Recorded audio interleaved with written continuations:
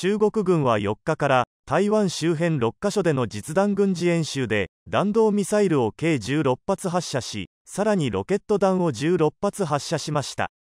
ネットユーザーは4日ある地域の海岸で魚の死骸が多く散乱しているのを目撃しました。中国公式メディアの報道によると4日正午から中国軍東部戦区の陸軍部隊が台湾海峡で長距離射撃訓練を行い台湾海峡東部の特定地域に対する精密打撃を実施し期待通りの成果を上げたといいます。台湾中央通信社によると台湾国防部は4日17時30分中国共産党が13時56分から16時まで台湾北部南部東部の周辺海域に東風シリーズの弾道ミサイル計11発を発射したと公表しました。日本防衛省は4日中国軍が同日午後3時から4時頃にかけて内陸から台湾に向けてミサイル9発を発射し5発が日本の排他的経済水域に着弾うち4発が台湾上空を飛行したことを確認したと発表しました。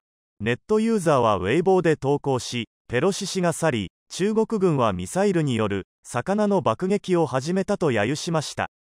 魚を吹き飛ばすだけでなく多くの魚に命中し魚の死骸が海岸に多く散乱しています。